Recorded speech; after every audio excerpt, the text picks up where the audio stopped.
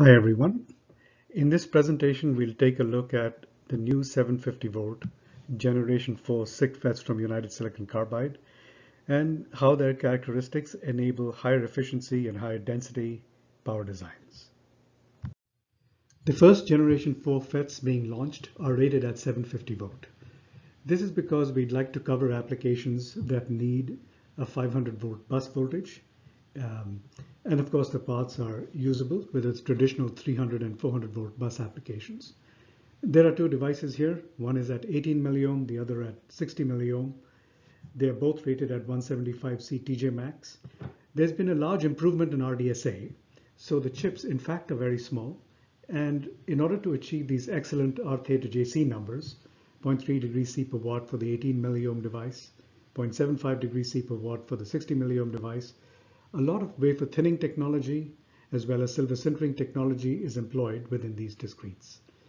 The low voltage MOSFET that is used here has a plus minus 20 volt gate rating, a 5 volt threshold, allows the switch to be operated with a 0 to 12 volt gate drive with a very low QG of 38 nanocoulomb. The third quadrant characteristics are excellent. There's just a 1.2 volt forward drop for the 18 milliohm device, a 1.3 volt drop for the 60 milliohm device in the third quadrant. Now these low RDS-on numbers come with very low operating capacitance numbers driven by the small JFET chip size. So you can see the EOSS column and the COSS-TR column. These are very low capacitance numbers and we will benchmark these against other FETs in later slides. Let's take a look at the target applications for these uh, new generation 4 devices. They are 750 volt devices so they can handle both 400 and 500 volt bus applications. They have very good figures of merits for hard and soft switching. They come in industry standard TO 47 3 lead and 4 lead packages, and they have already been qualified to the AEC Q101 standard. So in the automotive space, they're very useful for onboard chargers where a totem pole PFC like arrangement can be used and the excellent switching behavior of these devices, which we will cover in more detail, in later slides uh, is useful. And they're very useful in the DC to DC converters in cars as well. Um, the same characteristics of low switching losses, easy gate drive, good thermal performance means they'll also be useful in totem pole PFC in a data center, for example, and in the LLC circuits used there. The same applies for telecom rectifiers.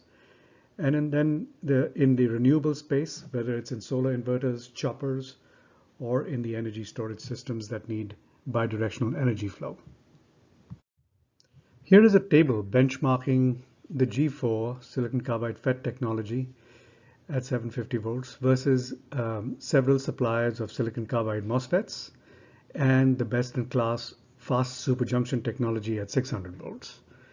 So the first row, first two rows on RDSA at 25C and 125C show that whether you look at it at 25C or 125C, the RDSA of this 750 volt technology is by far superior to all the technologies out there.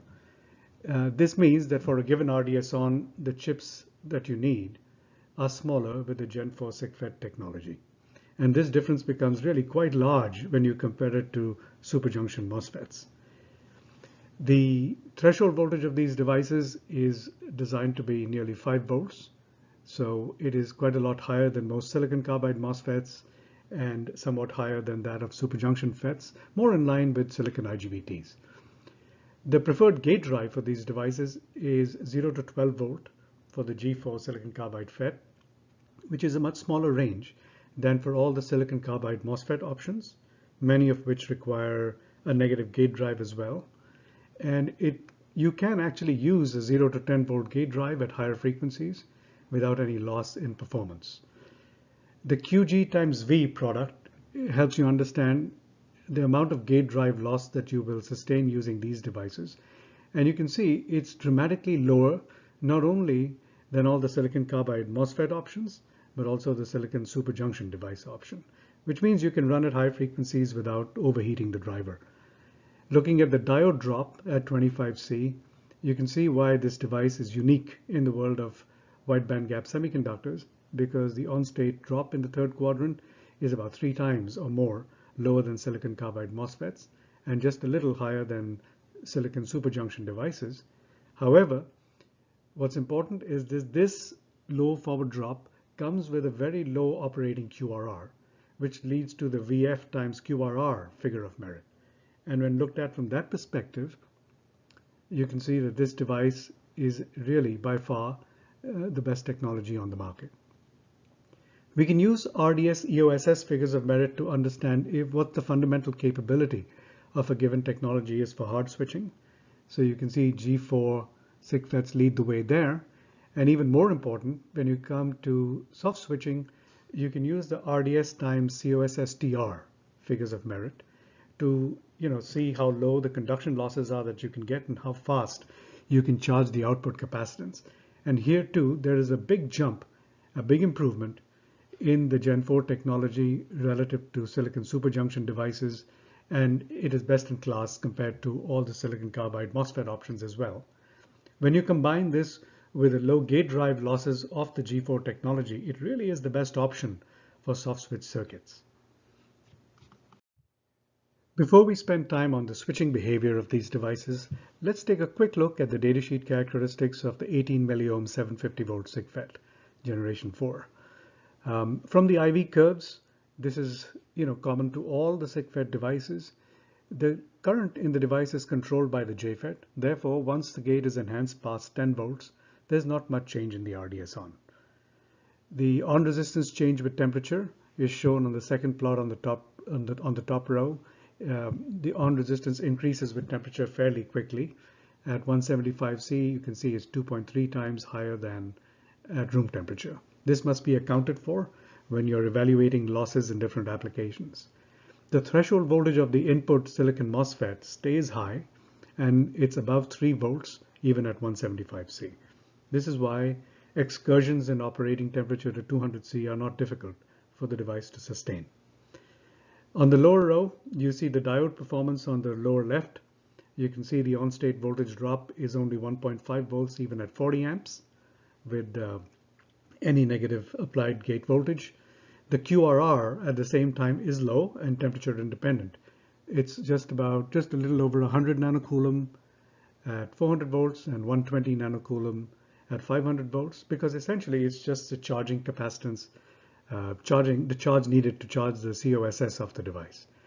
The last plot on the lower right is the output is the capacitance curves.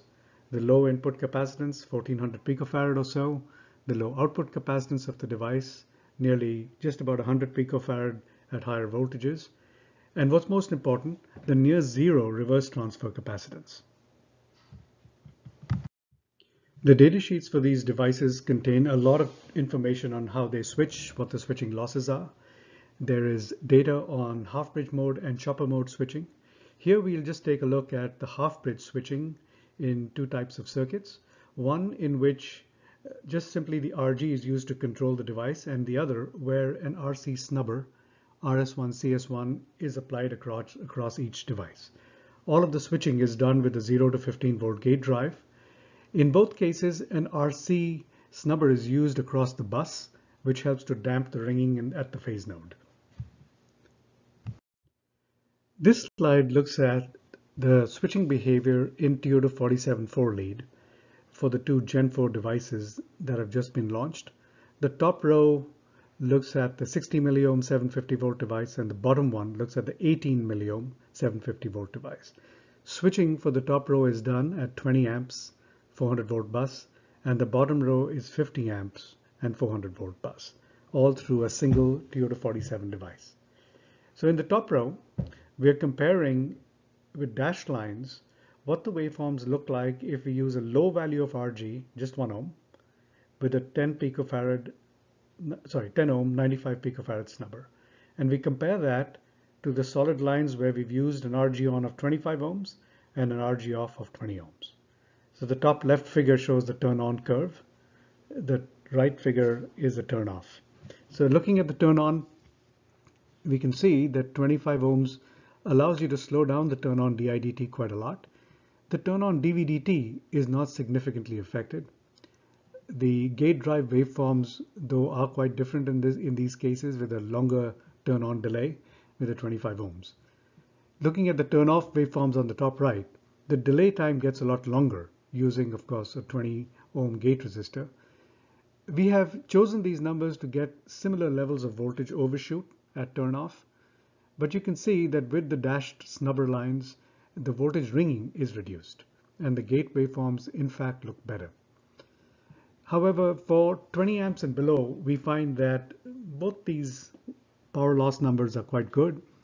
The waveforms manageable, so the use of the snubber is optional. When we get down to the lower plot where we are looking at 50 amp switching, now here we compare the what happens when you use just a 1 ohm RG with a 10 ohm 350 puff snubber across each device, or we use a 25 ohm RG on, 50 ohm RG off to manage the 50 amp high current switching. Now these values were chosen to give us a similar level of overshoot for the drain source voltage at turnoff. And now we see at 50 amps, there is really quite a big difference in the power losses between the case with the snubber and the case where we just use the gate resistances to manage the switching waveforms. And with the snubber, both the turn on loss and the turn off loss are dramatically lower. At the same time, because the RG can now be much smaller, the delay times are shorter, especially at turn off. So, you know, you get almost a 36% loss reduction using the snubber. The losses in the snubber are are extracted in the datasheet and are quite small. Therefore, for greater than 25 amp switching, it is recommended to go with the four leaded package and to use the snubber option. A lot of applications still use the TO-247 three lead device. Um, and we would like to compare it here to what happens for the, with the same parts in three lead versus four lead switching in the half bridge. So again, the top row is looking at the 60 milliohm device. The bottom row of figures looks at the 18 milliohm 750 volt device. The top row switches 20 amps at 400 volts and the bottom one 50 amps at 400 volts. For the top row, we examine the case of switching without snubbers across the device, just using an RG on of 1 ohm, RG off of 20 ohm, and the dashed lines refer to the four leaded package, the solid lines, the three leaded package. And as one would expect, if you look at the turn on curve for the 60 milliohm device, top left figure, the gate ringing is significantly worse if you're using the three leaded device. And most of that ringing occurs because of the DIDTs acting across the common source inductance. The same happens at turnoff, where even though the voltage overshoot with a solid line in the three-leaded package is lower, the gate waveform has significantly bigger spikes. Again, same reason, is because of the DIDT acting across the common source inductance. Now, in the, at the bottom, in the bottom set of figures, we are talking about switching a much higher current, 50 amps. And in this case, the waveforms have been taken with the same low RG but using a device snubber to get better operating waveforms. Again, when you compare the 3 lead to the 4 lead, the noise on the gate is greater in the 3 leaded package, especially at turnoff, even when you've got similar levels of current and voltage overshoot um, by the choice of uh, operating conditions. So a 4 leaded package again offers here a much lower switching loss and better gate waveforms. So again, for high current applications, we recommend the four leaded package and the use of the device snubbers. Now let's look at a few examples for what these excellent switching characteristics can do for us in typical applications. So this first application is a standard highline totem pole PFC application at 65 kilohertz for a 3.6 kilowatt um, PFC unit. The, all the FETs use a 0 to 15 volt gate drive. The left plot takes a look at uh, using SiC in both the fast switching leg and the slow switching leg, whereas the right hand plot compares what happens when you replace the slow switching leg with just regular silicon rectifier diodes for low, because that saves two gate drives and two transistors and therefore is lower cost. So on the left side, we can see that at 3.6 kilowatts, we really have two options. We can use two paralleled 60 milliohm devices, which can give you the peak efficiency, including at light load, or we can save some gate drive and some heat sinking space by using a single 18 milliohm device, which has comparable efficiency. If the system is lower power, say around 1.5 kilowatts, the blue line shows that it's good enough to use just 160 milliohm device. The improvement from Gen 3 to Gen 4 can be seen especially at light and medium load. The um, right-hand side plot, you can see that the drop in efficiency that occurs from the yellow line, for instance, to the black line, it shows what happens when you um, remove this uh, transistor from the slow leg and replace it with a silicon diode, which leads to greater conduction losses and that efficiency drop. But in either case, the semiconductor losses that are plotted here exclude all the other losses from the inductor, the chokes, the control circuitry, etc. But they are high enough that it makes it possible to implement extremely efficient PFC units and maybe hit the, the, the highest standards for power conversion. The LLC circuit is by far the most popular circuit for DC to DC conversion, whether it's in EVs, data centers, telecom rectifiers, or other applications. So here we take a look at a 3.6 kilowatt LLC case. There are two important options here, either using two devices of the 60 milliohm in parallel or one of the 18 milliohm. And you can see from the table, we take a look at 300 kilohertz and 500 kilohertz operation. We break out the conduction loss, the turn-off loss P off, the gate drive loss P gate, and the diode conduction loss P diode, which then adds up to the total loss per device. You can see that both options are excellent. Um, gate drive losses are low in all cases. Uh, all the good, all the features of the silicon carbide FETs are employed here the low conduction loss, the low switching loss, very low gate drive loss, and the low diode loss. Even in the worst case, the losses are below 6.5 watts, which means the temperature rise is going to be very minimal and very little heat sinking is required, especially given the fact that the R theta JC of the devices is so good.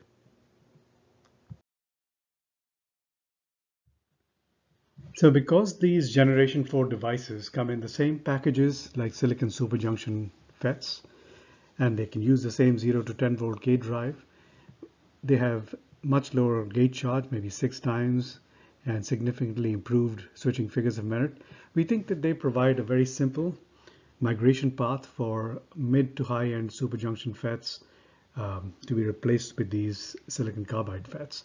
The cost competitiveness comes from the vastly superior on resistance per unit area of the SiC JFET technology. So in summary, we've discussed the generation 4 750 volt silicon carbide FETs just launched by United Silicon Carbide. We talked about the two devices, 18 milliohm and 60 milliohm, offered in the TO-247 three lead and four leaded packages, which have been qualified to the AEC Q101 standard. We showed that these devices have pretty breakthrough figures of merit for hard and soft switching. The gate drive is pretty simple. You can be, be, as simple as just using a 0 to 10 volt gate drive because of the 5 volt threshold. Um, these are the first 750 volt devices because we wanted to serve not just the traditional 300 and 400 volt bus applications, but also the emerging, emerging 500 volt bus applications. So this is what uh, is going to lead to all the benefits in the high growth applications like EVs, in onboard chargers and DC-DC converters, in the data centers and telecom rectifiers, in energy storage systems and in solar inverters. This is just the start of the portfolio. There's a much wider portfolio of RDS-ons, package types, and voltage classes planned for 2021. Thank you for your attention.